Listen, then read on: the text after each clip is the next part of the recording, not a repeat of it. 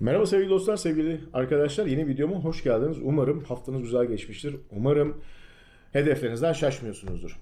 Lütfen videomu izliyorsanız beğenmeyi, lütfen kanalımı takip etmiyorsanız kanalıma takip etmeyi ihmal etmeyin. Evet arkadaşlar, bugün konumuz ne? Takipçilerim sormuş olduğu bir soruya cevap vermek istiyorum arkadaşlar. Çünkü gerçekten çok fazla soru geliyor bununla alakalı.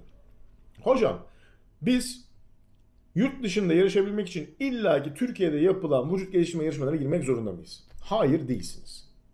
Kesinlikle değilsiniz.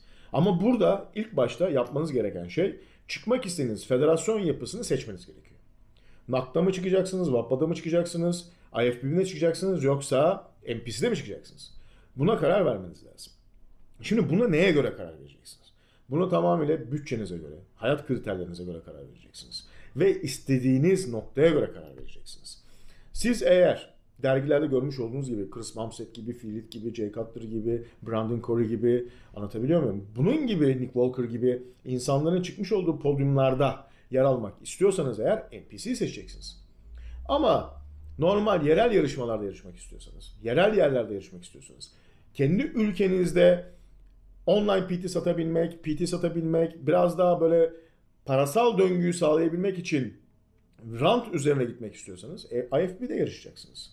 Veya NAC'da yarışacaksınız veya NAPBA'da yarışacaksınız. Tamamıyla düzen esasında bununla alakalı. Şimdi burada şunu bilmeniz gerekiyor arkadaşlar. Hiçbir federasyon yapısının istekleri bir değil. Özellikle IFBB ile NPC'nin istedikleri hiçbir değil. Onun için de bana diğer bir gelen soru var. Soru içinde soru esasında bu. Tamam biz NPC'ye gireceğiz ama hocam ilk önce IFB'de bir şansımız deneyelim. Bir görelim bakalım nasıl oluyor bu iş. Ya bu iş öyle bir iş değil. Çünkü neden? Siz IFBB'nin düzenine göre poz rutinlerine, kilonuza ve size'ınıza odaklanır ve buna göre hazırlanırsanız NPC'de de ona göre hazırlanıp çıkmak isterseniz inanılmaz büyük bir zaman kaybedersiniz. Zaman demek bu işte para demek. Aynı zamanda zaman demek bu işte sağlıksız olmak demek. Bunu sakın unutmayın. Bir atımlık kurşunuzun olduğunu düşünün. Bu atımlık kurşunuzla beraber yol aldığınızı düşünün. Çünkü burada kullandığınız farmakolojik ilaçlardan, beslenme rutinlerinizden, diyetinizden ve idman sistemlerinizden ve hayat şartlarınızı bir araya getirdiğinizde gerçekten bu rutin inanılmaz zor.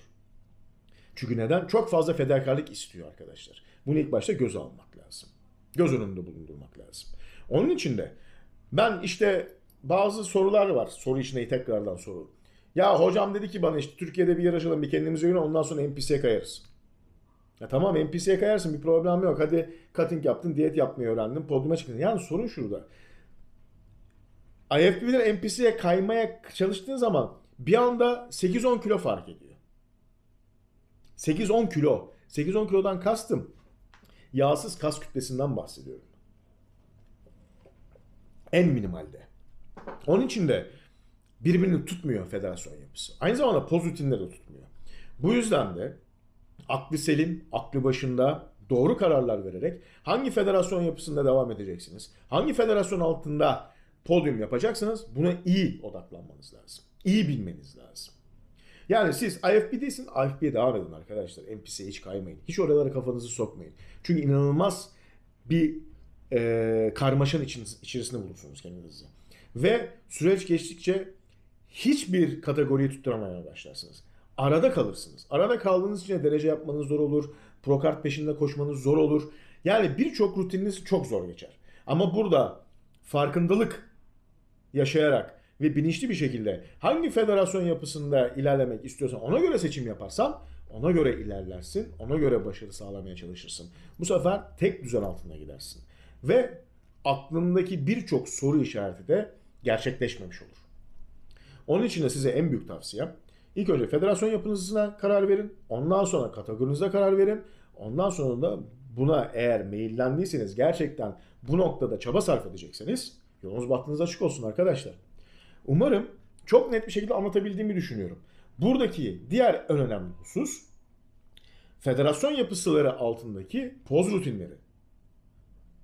Hepsi çok farklı arkadaşlar. Özellikle NPC'nin kendi baş hakemleri olmak üzere, kendi hakemleri olmak üzere kesinlikle poz rutinlerinde çok iyi olmanız lazım. Gerçekten kendinizi çok iyi yetiştirilmiş olmanız gerekiyor. Hem klasik fizikte hem men's fizikte hem bodybuilding'de. ya da bikini'de ya da wellness'ta ya da woman fizikte ya da fitness'ta ya da woman bodybuilding'de bunu düzgün rutinlerde, düzgün ritüellerde, düzgün seremoni eşliklerinde, düzgün bir çatı altında işlemeniz lazım kendinizi. Ona göre de yolunuza bakmanız lazım. Burada kısaca özetleyelim hemen. IFBB ile MPC arasındaki eğer geçiş sağlayacaksanız şunu bilmeniz gerekiyor. Kilo sayınızı arttırmanız lazım. Aynı zamanda poz rutininde çok iyi çalışmanız lazım. Aynı zamanda federasyon yapısının altında istemiş olduğu kategori yapılarına uymanız lazım. Bu kadar. IFB tarafındaysa iş tamamıyla sizin o federasyon yapısının istediği noktada, istediği dereceye kadar gitmenizi sağlayacak rutinleri, pozları ve kilolarınızı tutturmanız gerekiyor. İkisi arasındaki en büyük fark ne? NPC'de yol alırsanız eğer Olimpiyaya kadar gidiş hakkınız var. Yolunuz bahtınız açık olsun. IFBB'de yol alacaksınız. World Championship'e gidecek kadar yolunuz var. Aradaki fark bu. Yani IFBB'den Olimpiyaya gidemezsiniz. Bunu sakın unutmayın. Yani IFBB yani Türkiye Vücut Geliştirme Şampiyonuna katılarak hiçbir şekilde Mr. Olimpiyaya geçiş hakkınız yok. Siz örnek veriyorum.